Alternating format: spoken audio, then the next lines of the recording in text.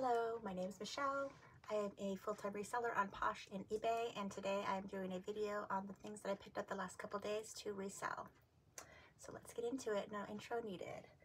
The first couple of items are bras. I pick up bras. I have about 200 listing. I pick all sizes up. And the thing about bras, you need to make sure that they are clean and like new. However, I do still wash them. You need to make sure that the wires are still in them. You need to make sure that there's not staining or rips or pulls underneath here. And you need to make sure that the wires or wires, the metal, the hardware is not pulled or stretched out of shape. This one here is a Victoria's Secret bra. Um, Victoria's Secret does a lot better than Victoria's Secret Pink. And this is the lightly lined demi in size 34 triple D. Um, Victoria's Secret bras, I think, run between 50 and $60, so I do like to pick them up. They sell between 20 and 25 so that's the first item. The second bra is by a brand called Tommy John. It's, I think Instagram maybe it made it popular.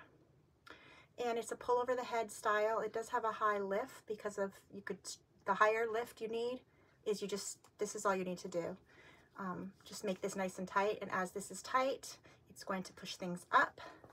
And so this is a pull over the head style front, back, and it is a size 38C. That's what that looks like. And I'm not really sure what they return, um, what they resell for, because it's a new to me brand. I think I picked it up only once, but it's been a while. Next is some Vince trousers like a beige with a tiny little pinstripe.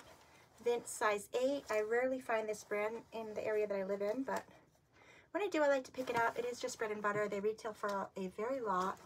They don't sell for too much unless it's a very current piece. So I'll probably list them for probably about 40. Size 8. Next we have is a Lilly Pulitzer little t-shirt dress. I do always tend to pick up Lilly. The newer styles do a lot better with spring coming in a few months, size medium, beautiful, cute, stretchy fabric, cotton, 10% spandex, 90% cotton. So pretty. Love picking up Lilly, Love finding Lilly. Again, it retails for over 100 but I will probably get about 40 Next is a couple pairs of jeans. These are the American Eagles, and I try to pick up American Eagles. People look for them all the time on the secondhand market. Again, it's just bread and butter. Um, you don't get a whole lot, but it's nice to pick them up secondhand. And these are size 6 long. And they are called, you turn them around this way in the front, and then you get to see what it says embroidered. And these are the artist flare, which is very popular right now. So there you have those. Nothing wrong with them. Look good. Next, we have a Rock & Republic Rock & Republic jeans. They're cuffed. They're really cute. They're dark denim. They're coming off a little bit light on camera and they are size, there we go. They're the Berlin style, 10 medium. 10 mediums, the Berlin style. They have stretch like the American Eagle. And a way to find out whether the jeans are for curvy figures, I've found that when you're holding them straight like this, if the back goes up, the higher the back goes up, the jeans, they'll accommodate a bigger booty basically. Whereas if this part is super low, which it's not, they would be more low rise. Another indication is whether the, how big and long the zipper is. When the zippers are really short, they tend to sit lower but underneath the belly button. So those are key factors when looking um, for yourself. Next we have another pair of American Eagle jeans. And these look like boot cut. Let's see if they're boot cut. This is what they look like. And they are a size 8 medium. And they are the kick boot. Kick boot. Size 8 regular. American Eagle tends to accommodate curvy figures. So they're a very, very good brand. Nice, a, a lot of stretch.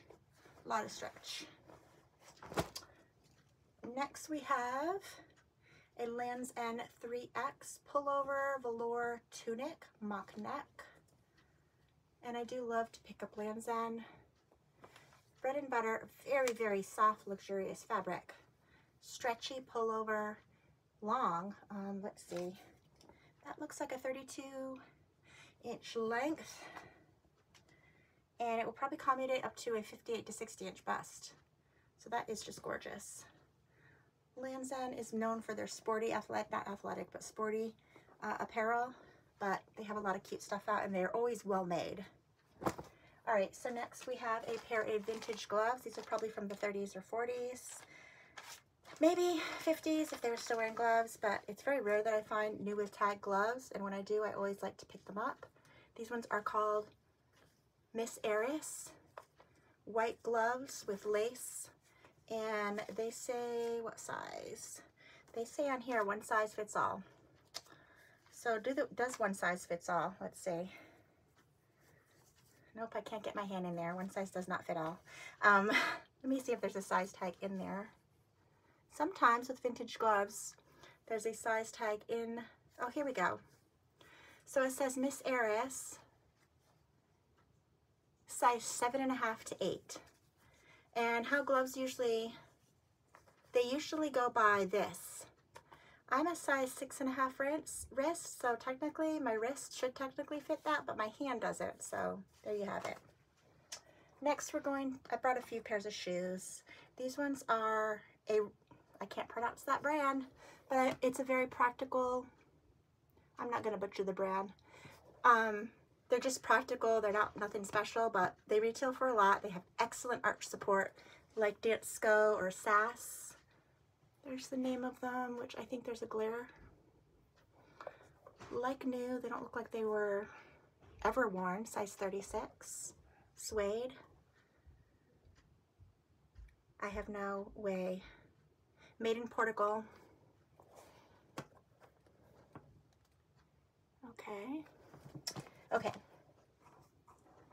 Antonio Melina, Milana, nude pumps, flats, excuse me, point toe, genuine suede, beautiful nude color, and size 9. They have a leather bottom. They're so pretty, and I think this is called the d'Orsay, when it has a cutout on the side, just a little bit of your foot shows. Beautiful, beautiful condition. No toe wear. I mean, just no wear except for a slight on the bottom. Next is S. Edelman. I think of Sam Edelman, although if they're Sam Edelman's, Sam Edelman tends to be really trendy, and these these might have been trendy like in the 90s. Kind of boho. I picture them with a long, flowy uh, broomstick, broomstick skirt just they're, they're beautiful. They are really, really pretty. Um, they're just not trendy. S. Edelman, and see the face on there? And they're just beaded, which technically you could take those beads off. I don't know why you'd want to, but, and they are leather and they are size leather upper. Where is the size? I am not seeing this. Oh, here we go. They're a 10 medium. So with shoes selling, I do sell a lot of shoes. I have several hundreds listed, nine bins full. When buying shoes, first I give them the shoe test. That's very, very important to do the shoe test because there's many times the shoe test is simply just grabbing it and bending it. Sometimes you bend it and the whole sole falls right off and obviously you don't get those ones because the last thing you want to do is sell a shoe that looks in new condition and as someone's wearing it the sole falls off, which when I first started reselling many, many years ago, I did buy a pair of shoes. I sold them. They looked new. Did not know about the shoes test. And the lady um, got a full refund because she said she was at work walking and the sole fell off. Very embarrassing. So that is what those look like. That's the shoe lesson. Next is some Minnetonkas. Minnetonkas. Again, just bread and butter. Again, shoe, these shoes are so well made. The boots sell a lot better than the shoes, but I can't leave the shoes behind. They are a size 8, and that is what they look like. They're your standard. When buying something like this, make sure that there's no holes right here, that the sewing is still, you know, nice and firm. Again, I still did the shoe test, but there you have that. Those are size 8 by Minnetonka. And then my best find was probably these Doc Martens.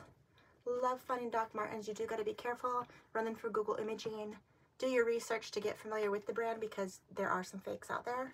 These are very heavy, substantial. They're like new condition. If you find the ones that are made in England, because they're no longer made in England, they're worth a lot more. So I do love to pick these up. And these are a size 9. Genuine leather, flap over, and that is how those look.